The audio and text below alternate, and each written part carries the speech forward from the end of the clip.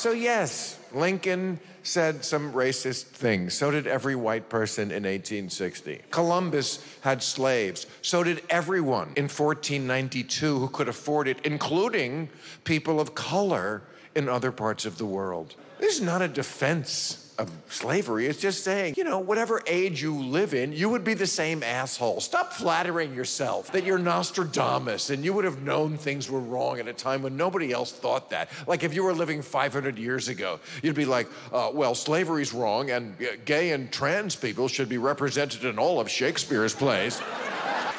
Shut up. You're not better. You just came later. You're the iPhone 11.